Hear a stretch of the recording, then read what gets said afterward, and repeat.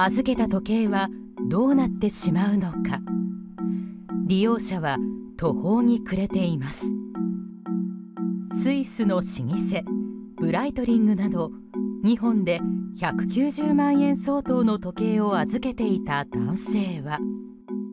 いろいろ自分でも調べて怪しいなっていうのは思ってはいて戻ってこない可能性があるっていうのはそこまで考えてなかったです。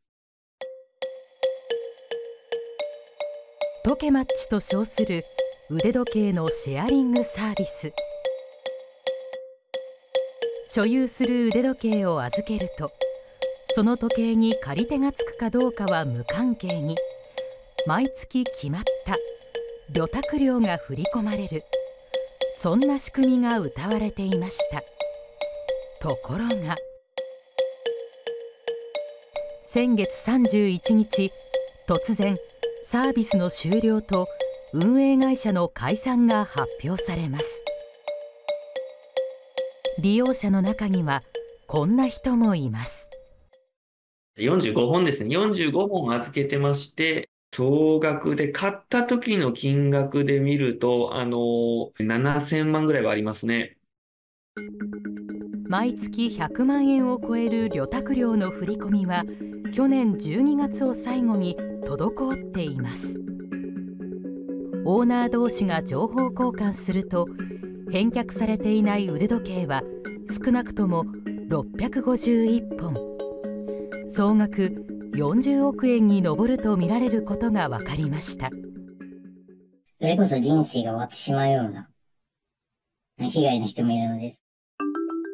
返却されないばかりか数本の時計がオークションサイトで売り出されているそんな情報もあります一体何が起きているのかホームページをよく見るとこんな記述が。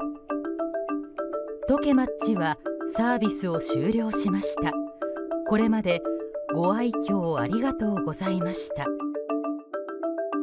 ご愛好の間違いでしょうか。運営会社に電話してみると。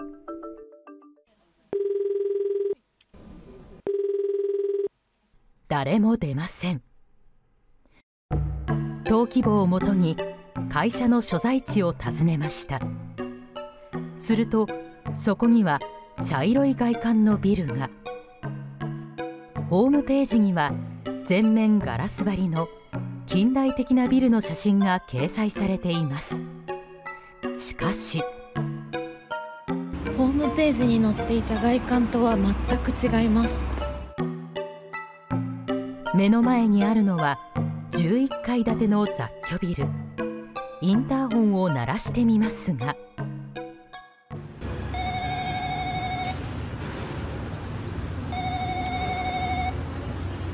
応答はありません。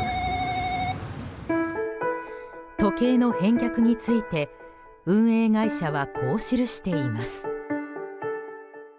本日より6ヶ月を目安として発送手配いたしますがご返却が難しい場合損害賠償の金額をお支払いさせていただきます。しかしこれ法律の専門家によると返却の意思があることを装っている可能性があるといいます。警察の動きを封じる目的かもしれません。